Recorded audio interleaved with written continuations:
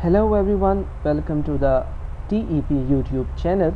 In this video tutorial I will tell you about index of method. In my previous video I have explained how you can insert a string within another string on a specific point. So I will continue the advanced feature of that in this video which is index of.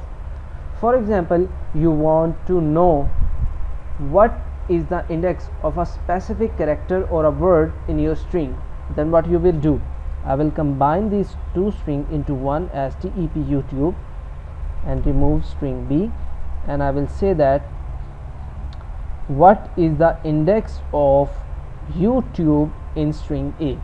I will write as A dot index of then in parentheses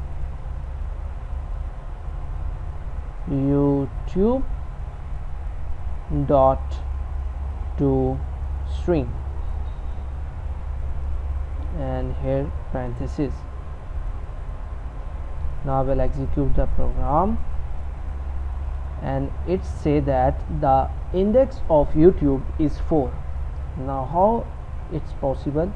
The index has 0 1 2 3 and from the fourth index the YouTube word is started.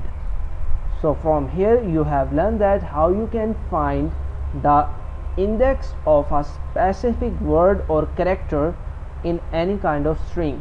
It is useful when you are creating an app of logging sign up form where you can uh, use different checks in the softwares etc I hope this video is very informative for you. Don't forget to check my previous video tutorials about these kind of methods.